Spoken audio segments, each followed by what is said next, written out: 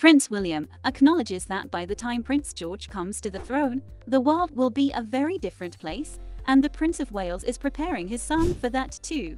Also, Prince George understands he will one day be Britain's king. Royal expert Katie Nicholl said, It's not an easy job as parents to have to prepare one of your children to be the future monarch, but it's communicated in a way that George can absolutely understand. She further said, William is determined the monarchy will survive but also acknowledges that by the time George comes to the throne the world will be a very different place.